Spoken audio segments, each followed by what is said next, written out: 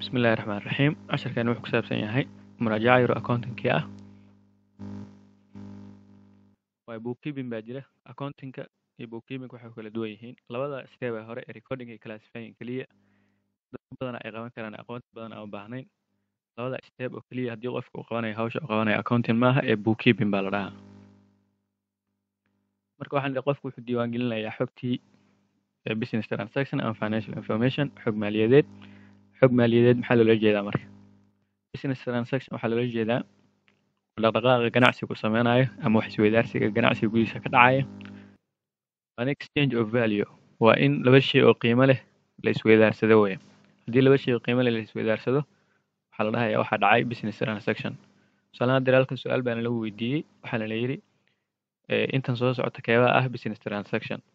Tan koowaad waxaa la yidhi firen an employee shaqaalaa la eriyey waxaan ku soo qeexnaa daaye waa in laba shay la isweydaarsado haddii shaqaale la eriyo wax la isweydaarsado ma jiro. Sidaa marka business transaction maaha. Labaad qof macaamiila baa ku yimid kadib brace ku weydiiyey. Wuxuu ku yidhi marka waxba kaama iibsan laakiin. Su'aasha keliya goorta ku weydiiyo marka waxba laysma weydaarsan sidaa marka business transaction maaha. Saddexaad selling goods on credit. Alaab baad deyn ku iibisay. Alaab haddaad ku iibisay qofka alaab baad siisay. Isna waxaa ka sugaysaa deynta inuu soo labada waa laba shay qiimo weeye sidaa marka waxay tahay business transaction.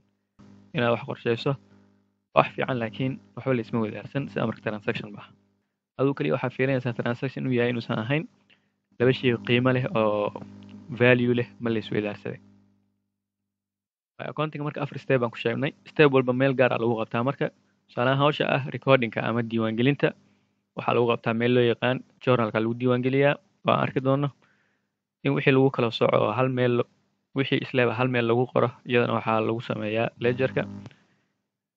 Tusaale ahaan qof baa ku imaanaya waxbuu kaa iibsanaya markuu wax kaa iibsada meesha koowaad wax ku qoraysa waa journal baa la dhahaa. Sidaa marka magac kale leeyihiin waxaa la dhahaa books of original entry. Hadhowdii marka dadka goorta kaa kala tagaan oo kale habeenkii aad soo xirayso dukaanka akoonada wixii isleeba hal meel baa ku qoraysaa. Tusaale ahaan wixii dada deyma ah kulahayd wixii kaasha hawsha noocaasa marka classifying baa la dhahaa. Ledgerka lagu qabtaa isaga kadib baa waxaa sameynaysaa marka sanadka oo kale ama dhowrkii biloodba inaa wixii aad soo koobto warbixin aad soo saarto.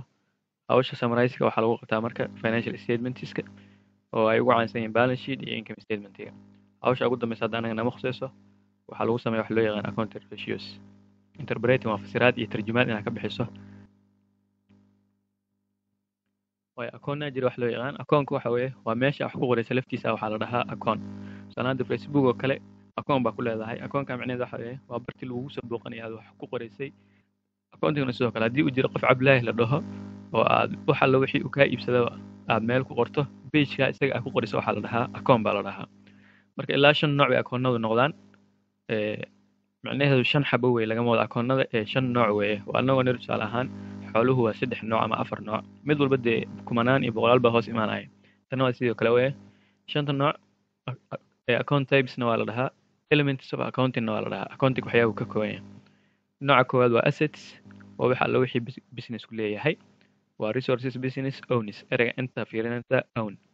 Liabilityn waxa weeye wixii lagu leeyahay. Capital waxa weeye lacagta uu ku bilaabo qofka milkiilaha ah ee jeebkiisu kala soo baxo. Capital sidoo kale equityna waa loo yaqaanaa. Farqi yar baa udhexeeya laakiin haddeer keliya waxaa ogaataa inay labadooda isku mid yihiin. Hadhowda marka waxaa dhacaya hantida businesska la geliya ama deyn ha lagu keeno ama qofka jeebkiisa ha ka soo saare sidka waxaa la rabaa inay dhaqdhaqaaq sameeyaan. Marka marna waxaa dhacaya qarashaad baa ku baxaya qarashaadka waxaa loo yaqaanaa expense costina waa loo yaqaanaa. Hadhowda markaa qarashaad ku bixiso dakhliga ku soo gelinayaan revenue waa la dakhliga. Bajaaj kale iibsatay.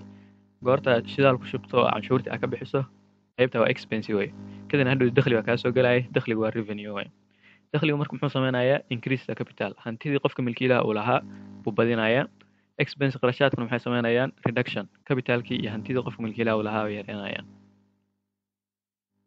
akoonada mararka qaar waxaa la sameeyaa waxaa laga fiiriyaa waxa ay ku tusinayaan. Qaar waxayna tusinayaan financial position. Heerka aan taagannahay iyo hantida aan leenahay amana lagu leeyahay.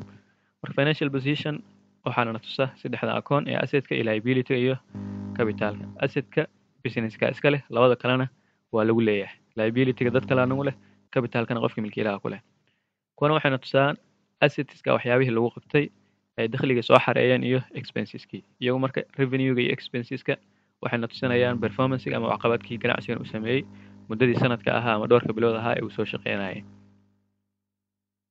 waxaa jira waxa la dhaho account equation maadaama hantida ganacsiga la gelinayo laba mid ay ku imaan karto ama deyn ama inaan jeebkeena kala soo baxno. Marka macnaheedu waxa weeye hantida ganacsigu leeyahay assetiska waxaa lagu heli karaa deyntii loo soo qaaday iyo hantidii milkiilaha uu lahaa oo la isku daray. Sida marka account equation haddaa maqasho waa assetiska oo lagu daray liabilityga iyo capitalka. Mararka qaar marka jadwal baa lagu qoraya kadib waxaa lagu leeyahay dhamaystir mar haddaa garanaysa assetka in lagu helo liability iyo capitalka la isku daro qaacidada on raac. Hadda asset goortan loo diro laba kun iyo saddex kun baan isku daraynaa. Haddaan assetna loo dirana kuwa kalena loo dirana waa kala jaraynaa tusaale ahaan hadda halka waxaan loo diray liabilityga. Liability si aan u helo marka sagaal kun iyo shan kun baan soo kala jarayaa halkan waxaan loo diray capital. Capitalka si aan soo helo toddoba kun iyo lix kun baan soo kala jaraynaa asset goorta lagu diro isku soo dar mar kalena soo kala jar. Mararka qaar waxaa la sameeyaa. Equationka ayar saddexda xaba ka kooban waa la baahiyaa waa la fidiyaa. Midda noocaas waxaa la dhahaa expanded.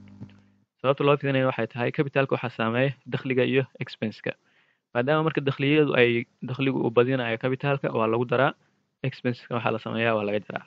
Marka account equation oo dhamaystira qor haddii lagu dhaho waxaa lagu helaa qaacidada hoose mid walba marka waa inaad tusaalayaal garanayso assetiskoo kale ilaa shan tusaale ay noo qoran liabilityga dhowrkaa tusaale ay noo qoran equityga waa iska capitalka weye qarashaadka iyagona tusaalayaal waa inaad garanayso revenuena sidoo kale waa inaad tusaalayaal garanayso